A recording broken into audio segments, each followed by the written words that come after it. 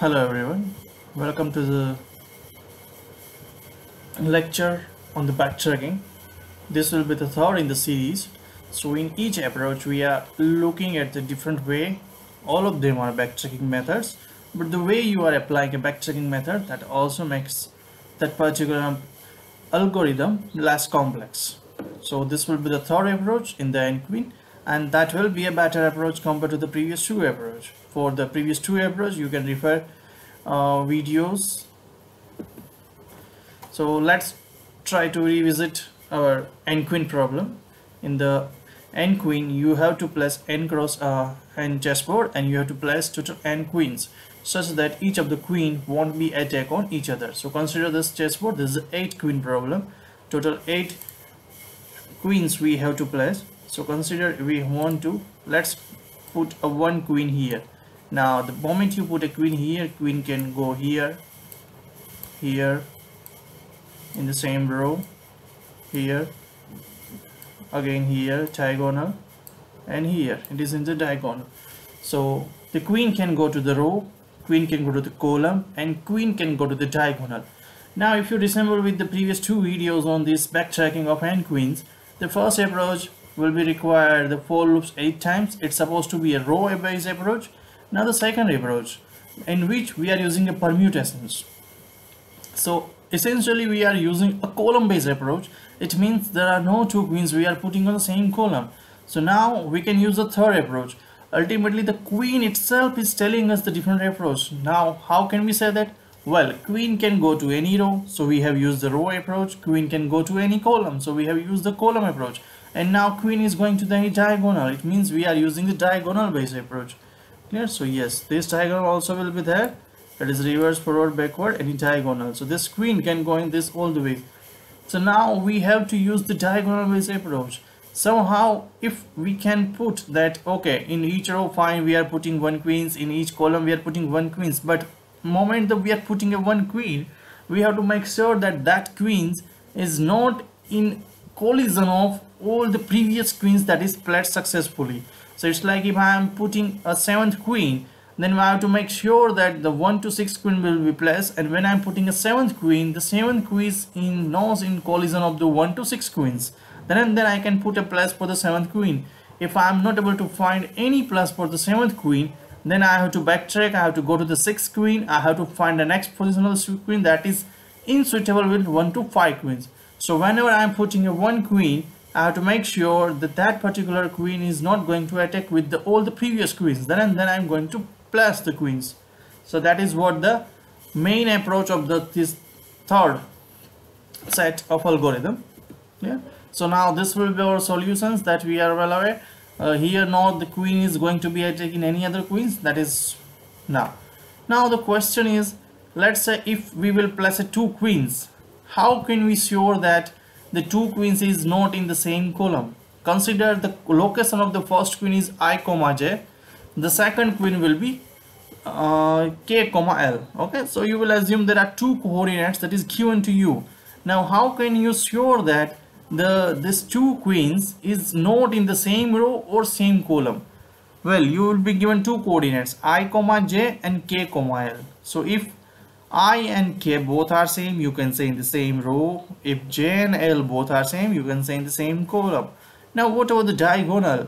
Can I somehow make sure that using these two coordinates I can able to deduct whether these two queens in, in the same column or uh, sorry same diagonal or not? It can be forward diagonal it can be reverse diagonal. That is what I want to deduct so let's go to our previous screen. So now consider this will be my ij and let's try to use the different consider my second queen that I'm going to place here now how can we sure that these two queens will be in the same diagonal? Maybe other queen I will also put down here. And how can we sure that again these two queen in the same diagonal or these two queens in the same diagonal? Then how can we make sure? It can be a reverse in the diagonal way. It can be a forward in the diagonal way. Row and column we can able to get it. But what about the diagonal? So that is what the query here well the approach is we have to use forward and backward the both the diagonal we have to take care let's say for this particular queens here we have to look at the which one is the forward which one is the backward so both the queens supposed to be taken care here? So that is the approach. Now i j and k and l. So somehow i have to make sure that this will be work. Well the thing is i cannot resort to only i and k or j and l. Because in the row i and k is useful. In column j and l is useful. But for a diagonal we have to use all these four coordinates. Well one thing is I can use i minus k and j minus l. But in certain situations there are some negative values because I have to deal with positive I have to deal with negative. Reverse and forward diagonal. Now which theory in maths will tell you to convert positive number into negative number? Well you are well aware it's mode. So the thing is that you have to use is you have to use the mode operations that whenever you perform any of the minus operations you have to go with the mode. So ultimately what you have to use is i minus k and j minus l that's you have to use it. Yeah. So this is with mode operations that are going to you can use it. The both will give you the same value and then you can go on. Okay so this is what the approach in the diagonal. This is the heart of this particular approach that the diagonal will be taken at place. Apart from row and column now we are also posing a diagonal so that when we are putting a queens we have to make sure that that queen is not going to in a row in a column or in a diagonal of all the previous queens that is well placed. Yeah so now this one is the algorithm. N queens we are putting a kth queen in the nth uh, total n cross n chessboards. So that's we are going to put. So before putting kth queen we are assuming that from 1 to k minus 1 all the queen is well placed. Means they are not attacking each other either in row column or diagonal so now what i have to do? For the kth queen we have to start with column 1 2 up to n because there are n columns in that particular chessboard. And for each of the column we have to check can i place the kth queen in this particular column? First column second column? Yes, the moment I will use the word kth queen, it means it will deal with the kth row. Because we assume that in all in each row we are putting only one queens. The moment I will mention kth queen, it means kth row that I am mentioning. So that queen we have to check whether it can be placed in first place, second place, third place, so and so on. If it is placed, then in my solution vector I will put as i. If I will reach at the end, means if when k becomes n it means I have placed the nth queen means I have to stop I will print the array if I want to again continue again I will recursively call to backtrack. I will again go with the k minus 1 queen try to rechange it. Clear? Otherwise what I have to do if I am not yet reached to the k equal to n means yet I haven't reached to the nth queen.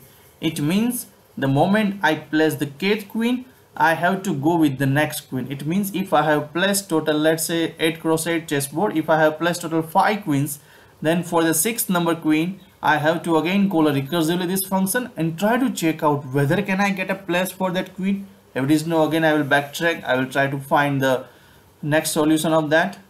Now the question here is what is this place algorithm? Place will tell whether it is feasible to put the kth queen in the ith column provided the queen is not going to be attacked by any other k minus 1 queens now how can you check this place algorithm? Well it is very simple.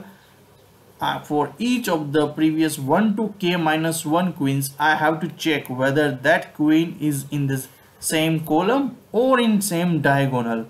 Because we are assuming that in each row we have only one queen so we don't have to check for the rows criteria. Only we have to check is for the column and the diagonal criteria if that particular kth queen is any of the column or the diagonal of that any previous queen then we cannot put the kth queen in the ith uh, column. We have to go with the next column. So that is what our place algorithm that is what the question. So now for all the previous queens so that's why for all j to k 1 to k minus 1 all the previous queens we have to check a column and the diagonal criteria. If either of that is going to be true then we cannot put that queen in that particular column. We have to go with the next column. That is what it will do. If for all this thing for all 1 to k minus 1 if every time this both is 4 this one is for my column and this one is for my diagonal if both are false that every time for all the k minus 1 means I found one probable place of the kth queen that is what this place algorithm does. So even compared to the previous two approaches this one is far better approach. So let's take one example. Consider that first queen I am placed here because first queen doesn't have any competitions with the previous queens. Now second queen I cannot put it here I cannot put it here. Yes I'm going to put it here. That's the fine because this queen is all the previous queen we have to compare. Now the third queen no no no again no? Yes here I can put the third queen. Fourth queen again here I'm going to put it. Fourth queen now fifth queen. Hmm? Fifth queen here no here yes i can put the fifth queen. Sixth queen no no no no yeah here we can yes we can put this this queen. Now seventh queen here no no no only this locations? Oh yeah that's i can use it. Yet it is not attacked with any of the previous queens. Yes i can use it.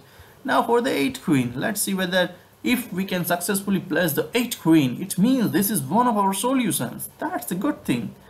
Now this particular row no no no only this particular location is available according to column wise but if I am putting here then this is going to be attacked by this particular queen that's why what I have to do is again this for particular this queen we have to find the next location. Can I put this queen here? No. Can I put no? The moment if I cannot put this queens again I have to resort to this particular queens again to way forward. Can I put this queen here? No. Here again no. No. Here no. Again I will look, go to backtrack. Can I put this queens in the next particular place here yeah that's what it will do. No oh here yes this queen will be placed here. That's what it will do. The moment you place the queen let me try to change color. So mm, okay. The moment you will place your next queen here let's say this is my next queen. Previously it was here. The moment I will put the next queen here I have to again here queen no here no no no no here yo no here no here no. It means again this one is wrong. Again we have to continue so and so. On the moment this queen will be reached here and then again this queen is try here. The moment it will reach here this will try to find out. So that is what the back checking of this particular algorithm. So this one is the solution one up using this criteria you can check. If you uh, you can take the i comma j and k comma l coordinates of all the screens you can able to see that they are not in the same row they are not in the same column and they are not in the same diagonal of each one's either reverse or forward diagonal. Okay thank you. Uh, this will be the reference that you can try to able to look into more details of this thing and this will be the recursive algorithm so that's going to put one by one of the queens. Thank you everyone for watching this video